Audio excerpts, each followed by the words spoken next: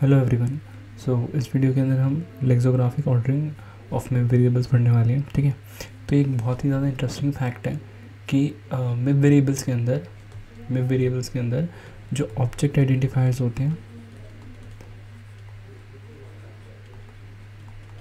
ठीक है? जो ऑब्जेक्ट आइडेंटिफायर्स होते हैं इवन इंक्लूडिंग इंक्लूडिंग जो ऑब्जेक्ट इंस्टेंस होते हैं ठीक है?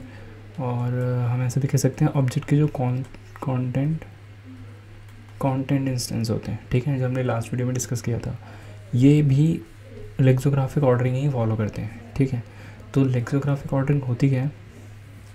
तो मैं एक डेफिनेशन से आपको समझाता हूँ। Okay so are ordered according to column row rules okay?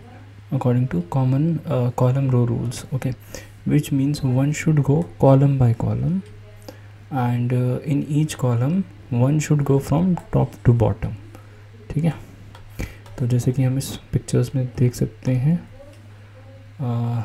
one is going from column to column and what one is going from top to top to bottom ठीक है कुछ इस तरह से ठीक है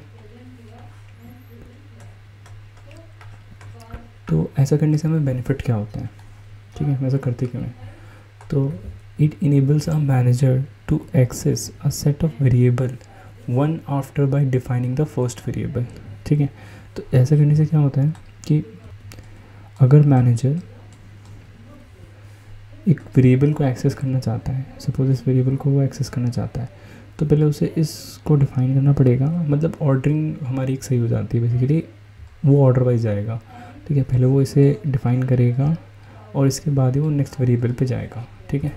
अगर वो इसको एक्सेस करना चाहता है तो पहले वो इसे डिफ़ाइन करेगा, फिर उसके बाद वो नेक्स्ट वेरिएबल पे जाएगा, ठीक है?